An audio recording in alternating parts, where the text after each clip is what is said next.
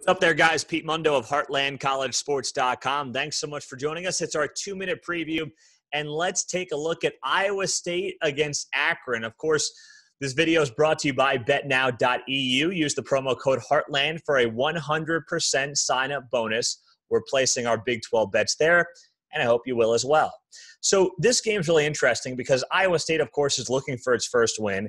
Akron's coming off its first ever win over a Big Ten program in Northwestern last week. So that actually bodes well, I believe, for Iowa State here because just look at the uh, before you get to the X's and O's, just look at a situation where Iowa State is 0 2, losses to its rival Iowa, and then a loss to Oklahoma by 10 points last week. Had that week one game canceled. That should have been their easy win of the season. They did not get it. They're 0 2. They're home. They're ticked off. They're emotional after the passing and the murder of that uh, the tragedy involving the Iowa State female golfer from earlier this week. That's going to be part of this game. And Akron's still patting itself on the back for its win over Northwestern last week. So right off the bat, Iowa State has a nice edge. Also, you look at the game last week, Akron against Northwestern. Northwestern was up 21 to 3 at halftime before a massive third quarter just got away from Northwestern and Akron came back really in that third quarter. They doubled their total yards from the first half in that third quarter.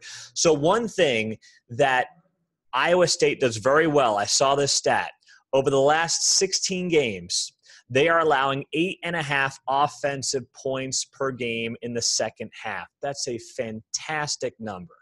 I think Iowa State takes care of business.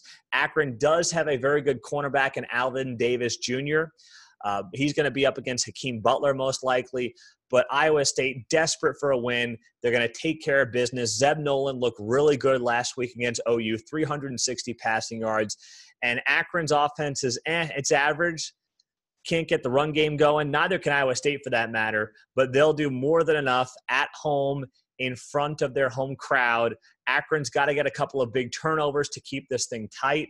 I don't think they do it and I like Iowa State to roll by a final of 35 to 17 over Akron. That's my prediction for the Iowa State Akron game. It's this Saturday in Ames. It's brought to you by betnow.eu, promo code Heartland for a 100% sign up bonus. Subscribe to this video, guys. We appreciate it, and we will talk to you again soon.